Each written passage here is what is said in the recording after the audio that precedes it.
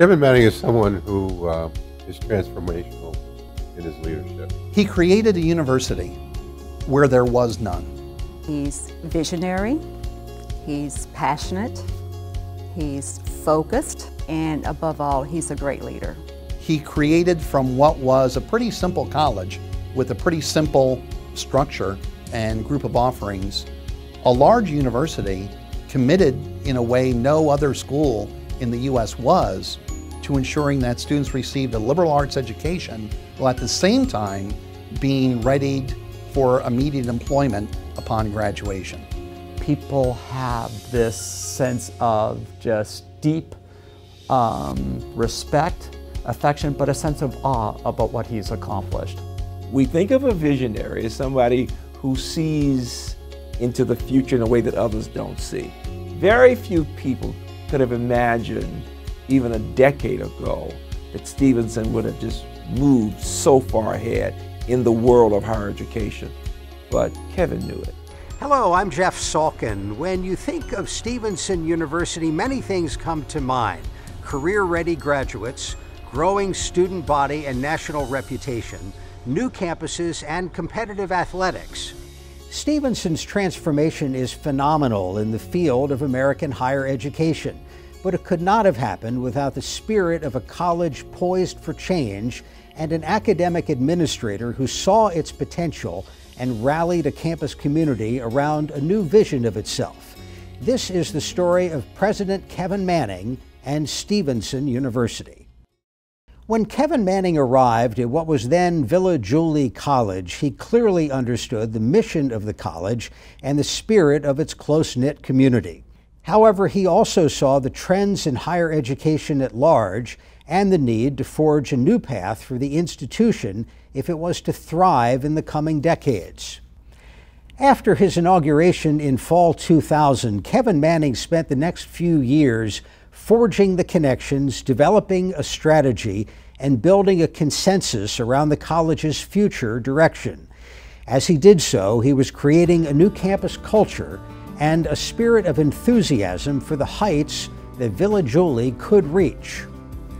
I think he really did want to know what people thought. Um, so he was always asking, well, what do you think about this? Uh, so I think he really did want to gather people's ideas um, as he was forming his own, I guess, leadership of how, what direction to take us. He realized he was never going to get unanimous support to anything, but he wanted consensus support. And uh, when you get consensus support, um, you're, you're, you're very uh, likely to be successful. When President Manning arrived, his concept was to turn this college into a university. And that was a huge change. That change touched almost everything that we did at this institution. It touched how we recruited people, how we structured ourselves. We became a number of different schools with a dean in each school, a much larger organization, able to do things that we couldn't do before. Before he went off making a lot of waves and splashing around in the water and saying, I'm going to do this and I'm going to do that and I'm going to clean house and we're going to become this kind of college, he listened to the people who were there and he respected their opinions and then he was able to, to, to tie together the strength of the college with what was needed in higher ed at the time. And that is a gift that a lot of people do not have. I think the way he presented it is I have arrived and I believe that this is what we can do with Villa Julie College. And he had the ability to convince everybody from trustees to staff to faculty that they were going to be part of this dream that he had. I think what he added was this adventurous spirit. Uh, an energy almost like you know Phil Jackson the coach right he, he brought in this very optimistic energy that anything was possible his idea of campus culture was that people would be involved with the students all of us i said to dr manning um, i'm sure a lot of people have come in here and they've asked for more money and more budget um, I'm not going to ask you for that. At the Division III level, student athletes get very little national attention, media attention. And if you have time, I'm simply going to ask you if you can come to some games. because it will mean every one of the students athletes will recognize that you're there. My daughters remember Dr. Manning from the open house, and he represented an approachable president of a, of, a, of a university. And I think that was part of the selling process, quite frankly. They felt comfortable coming here because of how he projected himself and the school. About a month into Allison's um, freshman year, he came into the cafeteria and actually went over to the table where she was sitting with a couple of her soccer teammates. And then he said, so you've been here a month now, what's working for you and what can we do to make it better? He very much cared about the way the students felt about their experience. And I think that makes him so human. Since its founding in 1947, Villa Julie was about career preparation. Kevin Manning saw the need to make this relevant for the 21st century. From this new reality, the concept of career architecture was born. He actually chose something that we desperately needed, we meaning the community at large, the world at large, marrying the liberal arts with career preparation. He took that concept, he ran with it, he distinguished us from the generic college. And basically what career architecture is, it's an opportunity for students to identify their core values and then to use those values as a basis for determining their mission and vision and strategies in their life to determine their own career. We are helping our students to understand who they are at their best. We work very collaboratively with our faculty through our industry specialists. And we also encourage our students from the first year out beginning to increase that understanding of what makes them tick through the self-awareness that they're gaining as well as the experiences in the workplace, in the laboratory, in their communities. They're able to build this brand that is so valuable and beneficial to our workplace. We can talk about the value of the liberal arts, of course, but we need to talk about how do we help students envision the possibilities. It's only through that practical experience, and that is where Stevenson really excels.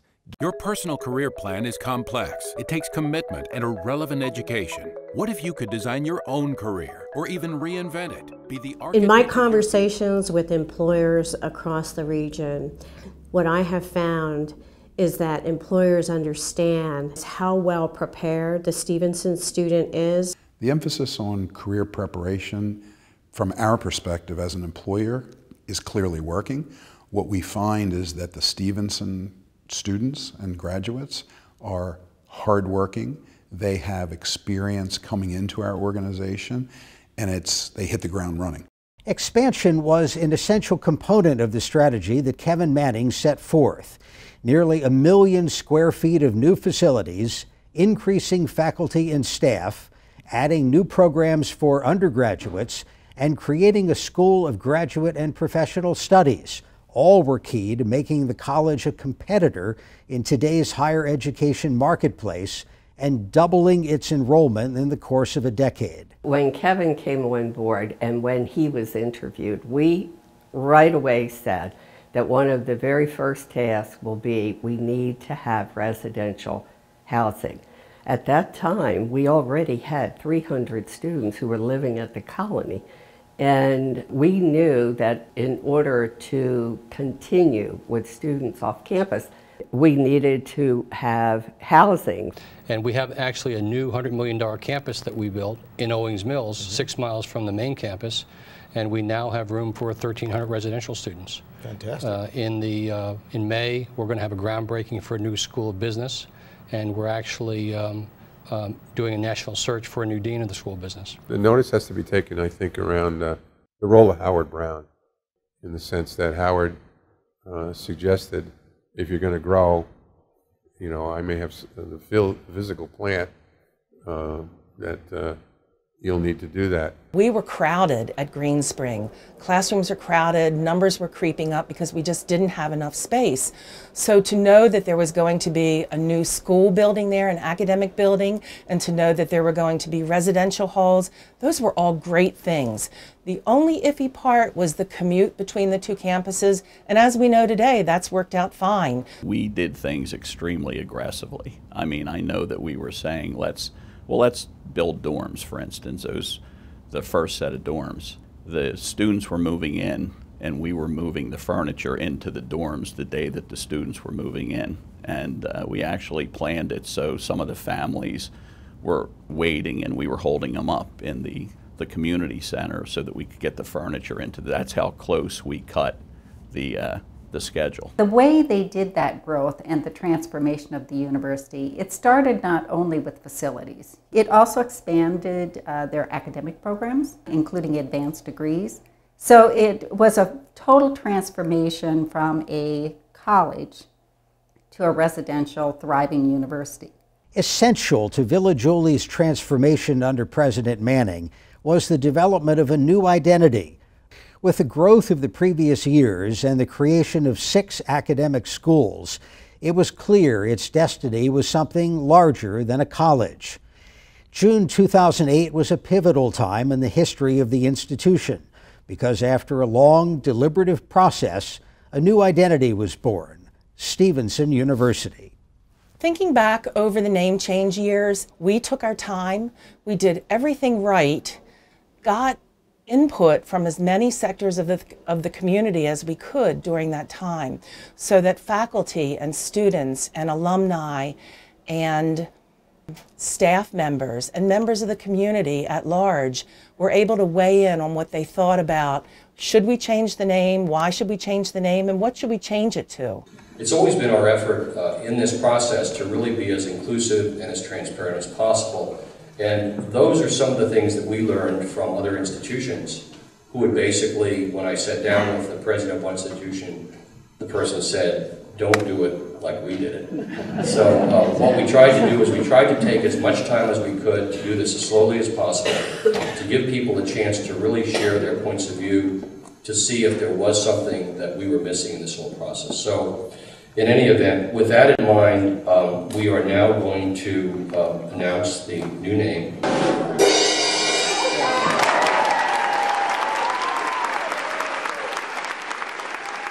Stevenson was the name of the small town where Villa Julie first originated. And also, this was online, and people could vote. In a sense, they could um, include their comments and Stevenson seemed to be the one that a lot of people liked. It shows that we anchored our name in the location of the original campus. All of the people in the community around us saw it as a positive because they knew that Dr. Manning was going to do something different and move the school in a direction not away from what we were doing in the past, but just to a better and brighter future. Today, a bronze Mustang called Victory graces the university's athletic complex at Owings Mills. It's a symbol not only of the winning spirit that drives Stevenson's teams, but of the accomplishments of the university as a whole. President Manning realized that building the university's athletic profile was not only a student recruitment tool, but a way to engage alumni, parents, and the greater community in the story of Stevenson's success. Dr. Manning made a very bold uh, statement that we were going to be a national leader in Division III athletics. Athletics is not an easy thing to put in a formula of if you do this, this, and this, you will win because there are many, many variables. With the university's position in Baltimore, with our progressive disposition, um, with our coaching staff in place, he felt that we could absolutely be a national leader in Division III athletics. In a blink of an eye, when we were building this campus, the decision was to build the gym because we needed to be where the students were at. And then shortly thereafter built a stadium which would service 400 and some odd student athletes between men's and women's soccer, field hockey, football, and the lacrosses. Um, he wasn't shy about solving that problem of how do we become a national leader in Division III athletics. Um, but he also knew that the greater good was going to be for the students and ultimately Stevenson University. For him to bring in a football program, other presidents thought he was out of his mind, and he wasn't. The football discussion was uh, pretty spirited, and that he went through the whole economics about um, why you do football. You're basically getting 100 new students um, a year. So that discussion went on for an hour, very spirited, and we all got on board. And he let it pause for a few minutes, And he said, well, now let's talk about the marching band. Oftentimes people would say, well, where you're gonna, where are you gonna play your first football game? And we said, well, right over there. And when I pointed, there was no stadium. And people thought, well, you're nuts. There's no way there's going to be a stadium there in eight, ten months. And there was a stadium. We had our first game. Maybe there wasn't complete lockers and everything complete inside, but certainly the stadium looked great. You know, it started with a lacrosse program, and then eventually, you know, recently you see everything from football to, you know, all the other sports, uh, sand volleyball, ice hockey, um, you know, the football program. It was definitely an enrollment machine. What does a stadium and a football team bring to the university, not just the athletic program, but the university in general and, and, its impression on the community?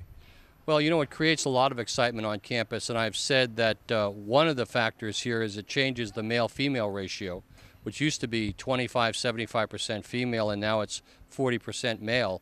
Uh, be, just because of the football team and attracting other types of students as well. And it creates a real sense of excitement on campus. He grew this institution and he took athletics right along with that growth, step for step. And being your president has been my greatest privilege and honor. It has been it has brought me joy. It has also brought me frustration and challenges to be sure, but my overarching emotions are joy and pride. It's been an honor to be the president of Stevenson. That the Hall of Fame committee chose to recognize me with inclusion in the 2016 Hall of Fame is a tremendous honor and means more to me than you could possibly express. Stevenson could not have grown without vision, strategy, and some calculated risks. The addition of the Owings Mills North Campus exemplified this approach.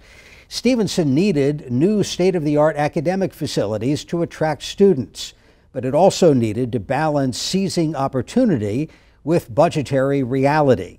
The result, a former pharmaceutical manufacturing center turned into a 200,000 square foot state of the art academic center for nursing, healthcare professions, the sciences, and design. One day at my desk, I received a phone call from a, uh, a corporate real estate firm asking if we would be interested in the Shire property. And I said, certainly would be interested in the Shire property, but we have absolutely no money. So he kept, he, the real estate agent, kept going and going. And I said, well, yeah, I, I think I could probably offer five million dollars. So he didn't he didn't accept that very well. He got I don't want to say he got angry, but he didn't didn't think that was an appropriate answer and basically hung up. But then he called back a couple weeks later, and then I said the same thing because at that point we had no idea that we had ever even entertained the thought of the Shire property. But one thing led to another after numerous phone calls we ended up paying $10.5 million for a property that was worth substantially more than 10.5, had 28 acres and 217,000 square physical plant. The ability to add an academic center of the scope and scale of the Manning Academic Center is extraordinary. Uh, it's an absolutely magnificent facility and it is going to provide not just uh, an environment for our current students and faculty, but uh, an environment, a learning environment that will grow with Stevenson University, I think, for years and years to come. The opening of this state-of-the-art facility is an extraordinary, transformational event for Stevenson and marks another stage in the fulfillment of Dr. Kevin Manning's great vision. Having received executive committee support and anticipating full board approval, it is my pleasure to announce that this remarkable new facility will now be known as the Kevin J. Manning Academic Center.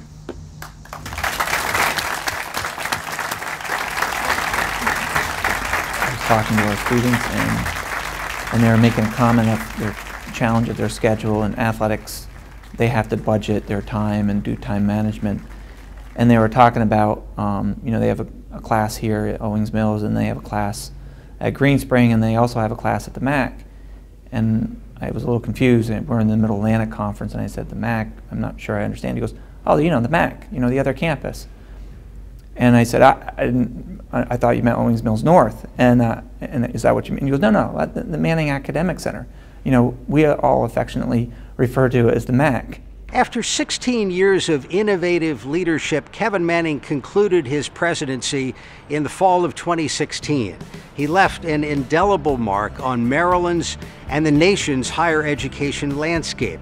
He also imparted a legacy of unbounded optimism that animates every student, alumnus, faculty, and staff member who were a part of Stevenson University's transformation. He kind of led the school as a businessman, but also as kind of like with the compassion of a teacher. The exponential growth has provided all of us with opportunities again and again to be challenged and to um, be able to do things that would not be possible at many other schools. We have to attribute that to great to a great extent to Dr. Manning, who absolutely had a vision for what we could be that um, I don't think um, all of us really saw in ourselves um, in the earlier years. Grown up here my whole life and have represented uh, this area for almost 20 years and I remember growing up and it was just Villa Julie and uh, across the forest a mound of dirt and uh, whatever was here.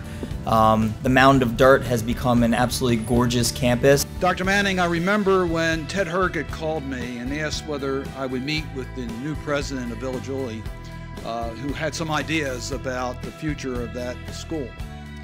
And I remember your vision for the growth of Villa Julie at the time. And I thought to myself, well, he's a dreamer, you know. Uh, that's wonderful. I'm glad that he's ambitious. I'm glad that he thinks that he's going to be able to do these things that are critically needed for our community. I didn't realize that he would exceed even the plans that he presented on that day. There are so many stories about the students who've come up with him, come up to him and talked to him about accomplishments that they have made as a result of being at Stevenson. I think a number of people have felt welcome here where they might not have felt welcome someplace else. When I think about President Manning, I think about the slogan, imagine your future, design your career. And I think of it with him as he imagined a future and transformed a college. So in every aspect of what is now Stevenson University, you see his fingerprints. Dr. Manning has never asked anything of anyone that he wouldn't do himself. And I think that's the mark of a great leader, that they are willing to go out on a limb and thus they can ask others to do that with them. I think all uh, men have a vision. A, a, few men work their vision. Uh, you see it in our facilities, you see it in the coaches. Most importantly, you see it in our student athletes. And that vision uh, will be long lasting. He has definitely um, taken the entire college, now the university, on a road less traveled, and, and we're certainly much better for it. We've all heard a lot about how Kevin has transformed Stevens, but I think his real legacy is going to be the transformation he's made in students' lives. He'll be missed, you know, and I'm not sure everyone realizes how much we'll miss him. A president can talk about a president and say something about his work and all of that, but at the end of the day, I really love that guy. He's a nice, good friend. He really is.